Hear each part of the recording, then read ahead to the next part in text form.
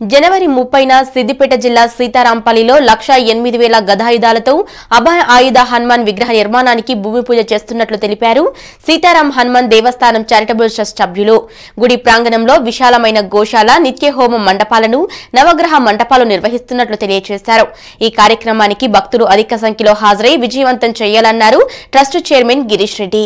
కక్షలు కార్పణ్యాలు చిచ్చులు విద్వేషాలు వైమనస్యాలు వైరుధ్యాలను జయించేందుకు భారతదేశం అందించిన ఒక ప్రచండమైన ఆయుధం ధర్మం. దానికి ప్రతీక శ్రీరామచంద్ర స్వామి అయితే దాన్ని కాపాడుతుండేటువంటి ప్రభువు శ్రీ హనుమాన్. అయితే లక్షా ఎనిమిది వేల గదలతో స్వామివారి ఆయుధ హనుమాన్ విగ్రహాన్ని మరి సిద్దిపేట జిల్లా దౌలతాబాద్ మండల్ మాచనపల్లి గ్రామంలో వినిర్మించాలని సంకల్పించింది జై సీతారామ హనుమాన్ చారిటబుల్ ట్రస్ట్.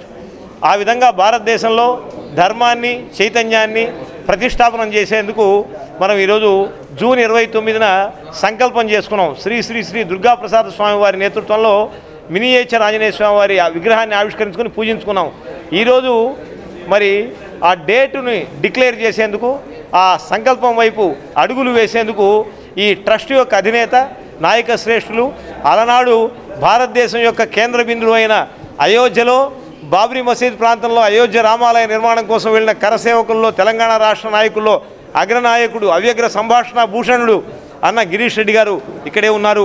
ఈ యొక్క తొంభై అడుగుల ఆయుధ పంచలోహ విగ్రహ హనుమాన్ విగ్రహాన్ని ప్రారంభించేందుకు సమాయత్తమైనటువంటి గిరీష్ రెడ్డి గారిని ప్రసంగించవలసిందిగా కోరుతున్నా.